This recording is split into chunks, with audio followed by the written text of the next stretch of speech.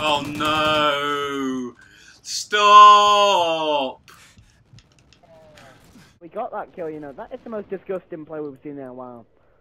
Oh shit. Good, What a he is willing to help him, so watch red side, my friend.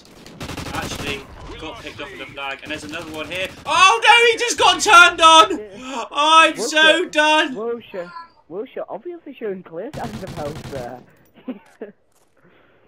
Yeah, Oh my god!